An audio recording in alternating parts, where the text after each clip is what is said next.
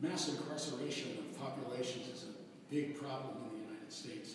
Indeed, many of the states that were so proud of their three strikes you're out laws are now trying to figure out how to empty the prisons of all the people that they overfilled them with. Incarceration, though, is a very profound and has a very profound impact on people.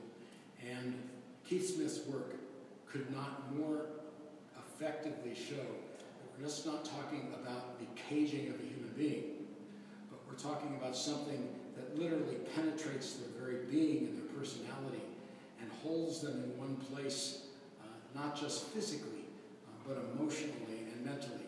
And it does it with a very big and heavy piece that really reinforces the largeness and the heaviness of this, of this problem. If only society had gotten safer from all this incarceration, it would be one thing. It certainly hasn't worked.